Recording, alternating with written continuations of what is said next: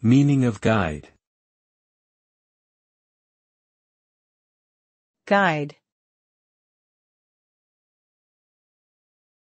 Guide.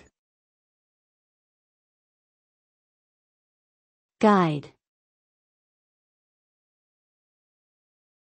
Guide. The word guide can be used as both a noun and a verb, depending on the context.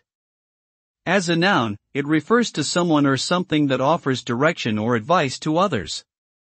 For example, a tour guide leads visitors around a city or attraction, while a user guide provides instructions for operating a product.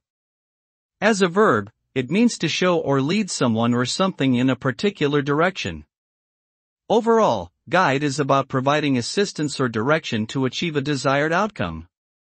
It involves helping others navigate through unfamiliar situations or achieve certain goals.